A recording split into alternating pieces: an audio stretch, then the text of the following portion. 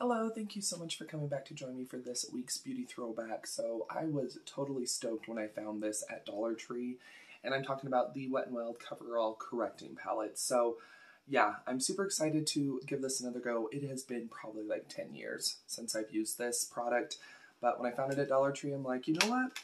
You gotta give it a go. And uh, I am, like I said, super excited. So if you'd like to see um, how I use color corrector, see if it makes a difference because my skin's not looking super awesome today, then please keep on watching. Like it says, I do upload a daily video all about budget beauty, so make sure you subscribe, hit that notification bell. You can also bookmark the page, that way you don't miss out on the daily uploads.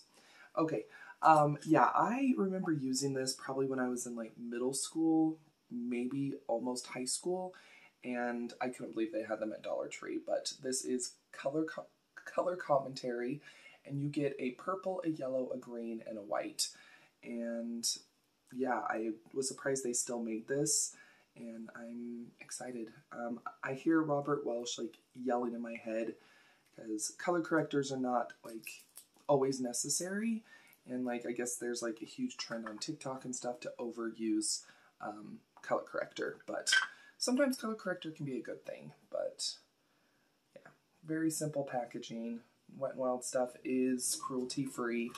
Um, anyway, I'm excited to use this. Like I said, Kate, my skin is cleansed, cleansed and lightly moisturized. I'm ready to go. So um, I'm going to be starting with the green, which is for like helping to combat redness. So I'm going to go ahead and use this. It is pretty creamy, so you don't have to worry about it being super, super dry. I do think you could definitely use a brush with this. I personally like using my finger just because it kind of help, can help it melt into the skin a little bit better. But what you want to do with color corrector is you never want to go in with too much. Hi Thor. So I'm just going to dab a little bit on to my zits or redness And all it's doing is you are canceling out the color. So if you look at a color wheel, um, green is the opposite of red, so it's going to help to neutralize that redness. You don't want a ton of green showing through. You just really want to get it padded out. Okay, so I have a little bit of broken capillaries around my nose. I'm going to go ahead and do a little bit there.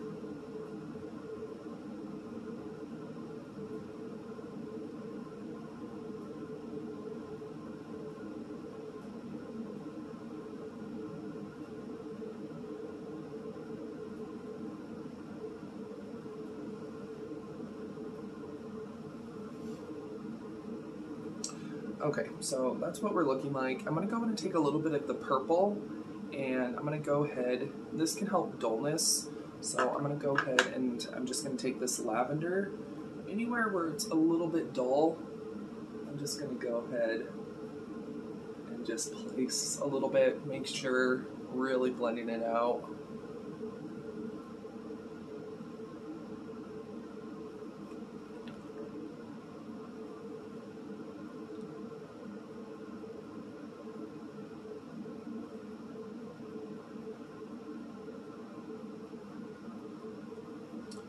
And lastly, I'm going to go ahead and take the yellow, and I'm going to be putting this underneath my under eyes.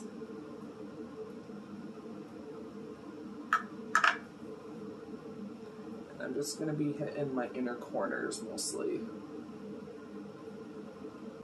Okay, so we have green on the redness, we have the lavender on some dull areas, and we have a little bit of the yellow um, on the inner corners of the eye. I'm going to go ahead and I'm going to start applying foundation.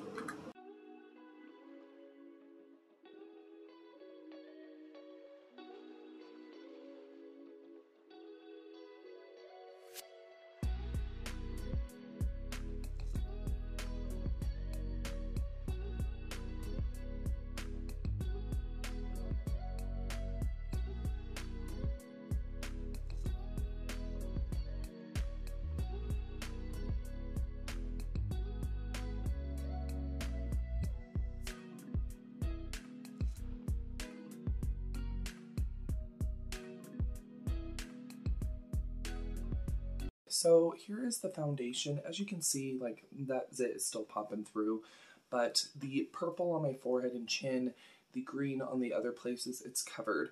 I didn't go in with a ton of foundation. Um, once again, you don't want to load up on the color corrector, but I do have to say the Wet n Wild Coverall um, color corrector palette is really, really nice. Not greasy.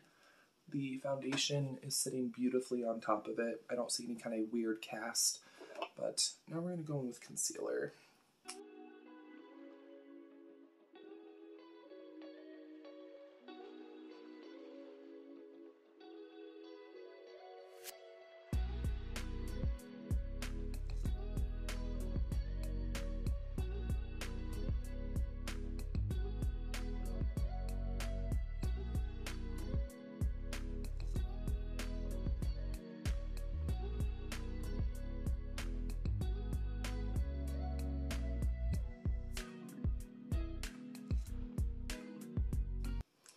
Okay, so this is what my complexion lo is looking like.